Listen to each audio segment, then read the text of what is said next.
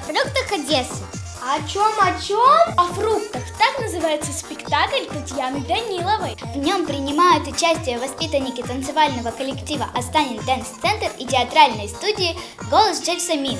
А также прозвучали новые детские песни Романа Моргенштерна в аранжировке джазового пианиста Алексея Петухова. Солидно. А звезды были? Конечно!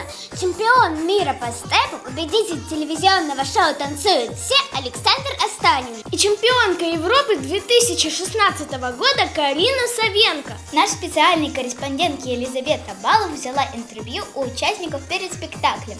Сейчас посмотрим! Здравствуйте! Мы находимся в культурном центре Бейт Гранд. Здесь проходит премьера спектакля «Фрукты Одессы». Представьтесь, пожалуйста. Меня зовут Тимофей. Я изображаю персонажа по имени Фима. Он умный, он любит играть на пианино, гулять, чтение. Ну, грубо говоря, э, дети, которые фактически вымерли в нынешнем мире.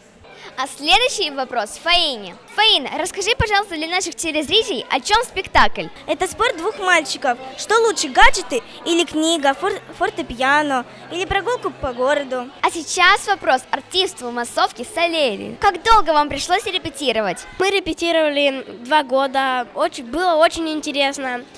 И как бы нам очень понравилось репетировать этот спектакль. И две группы «Останет Дэн Центр» и «Голос Джерсамина» так слились, и как бы очень интересно было все это репетировать.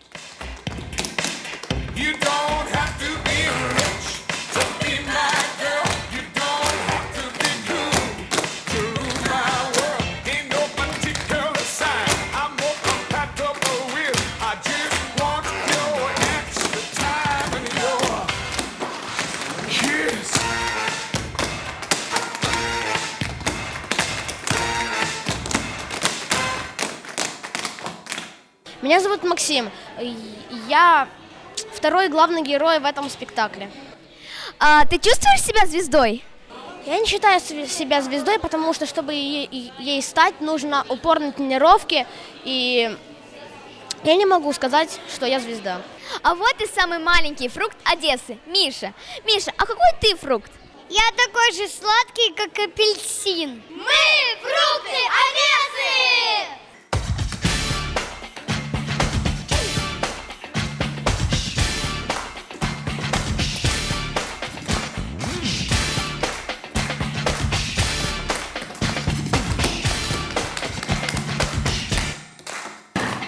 Александр, расскажите немного о спектакле. Спектакль называется «Фрукты Одессы», то есть он о фруктах, о детях, о, о нашем любимом городе Одесса. Расскажите, пожалуйста, кто автор спектакля? Татьяна Данилова, она придумала этот замечательный спектакль, вот, и мы очень рады, что мы здесь участвуем в нем, мы как бы танцуем, вот, и как бы мы отвечаем за всю танцевальную часть этого спектакля. Вот вы танцор. Как часто вам удается попробовать себя в роли актера? Так как танец — это язык жестов, язык тела, вот, то когда мы разговариваем и рассказываем что-то, то всегда танцор, он уже, он уже является актером. Поэтому, в принципе, практически всегда мы э, и танцоры, и актеры, два, две личности сразу же вместе.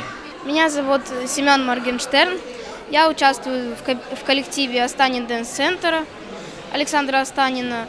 Я участвую во э, почти во всех танцевальных номерах. Танцую я степ, и мне очень нравится этот спектакль. Сейчас вопрос автору спектакля. Здравствуйте, Татьяна. А, как пришла идея создания этого спектакля? Мне очень хотелось, чтобы все талантливые дети имели возможность выступить на профессиональной сцене перед настоящими зрителями, чтобы они почувствовали себя настоящими актерами, настоящими танцорами. А поэтому был придуман такой сценарий, где могут э, проявить себя и танцевальная студия, и театральная.